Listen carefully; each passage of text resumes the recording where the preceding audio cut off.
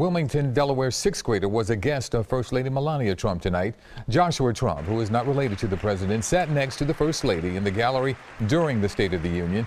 He says he's been bullied in school because of his last name. Joshua says he's thankful to the president and First Lady for their support.